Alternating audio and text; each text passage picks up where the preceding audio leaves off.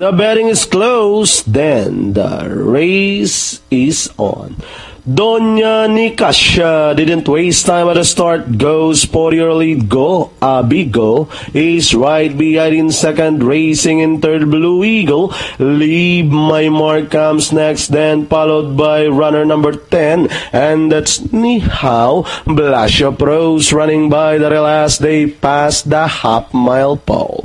With Doña Nicasia leading the field. Getting closer in second. Go. Abigo. Leave my mark is running by the rail as they round towards the 450 with Doña Nicasia leading the field by about a length and a half running in second go Abigo now racing in third leave my mark as they race at the final corner with Doña Nicasia still out in front by about two lengths running in second go Abigo leave my mark on the outside with 150 to go without pressure in front.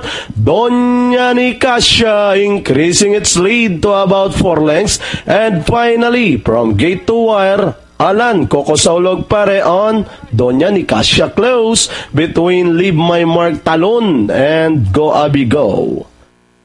Okay. To wire for